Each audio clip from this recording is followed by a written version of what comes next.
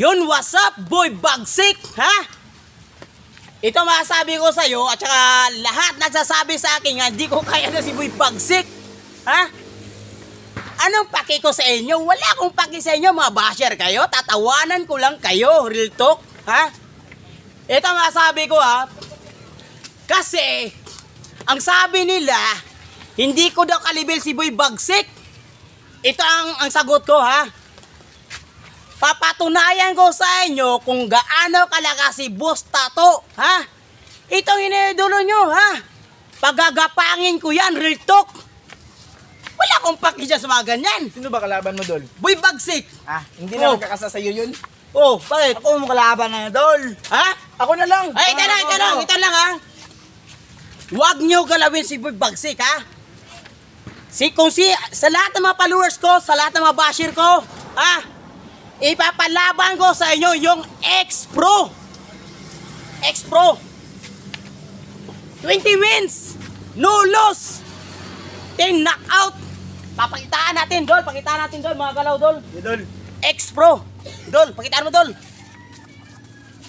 Kapota, lupit ah. Lupit ah. Yan. Ano masasabi nyo? Mahina? Dol, ang pro namin pro. Ibigay mo na sa akin yan, Dol. Ha?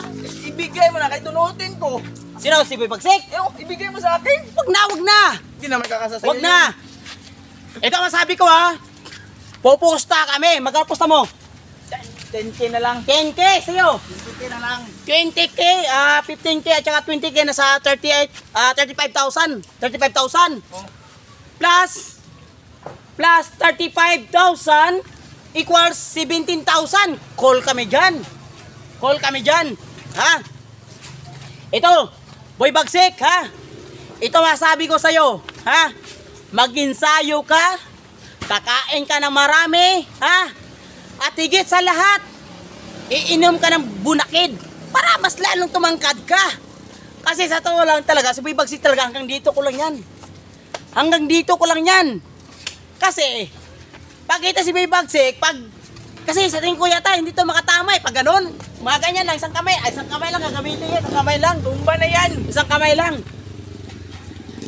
Boy Bagsik, ito nga sabi ko sa'yo ha. Magpapagaling ka, tapos yung pira nga binigay ko sa iyo nga 3K, ha? Sana kasya niyan sa ospital. Ha? Baka naman pagdating ko diyan, February. Sabi-sabi ka pa nga injury pa rin yung kamay mo. Huwag mo ako pagsabihan na injury, ha? Pag ako nainis sa iyo, ha? Sasampalin kita, ha?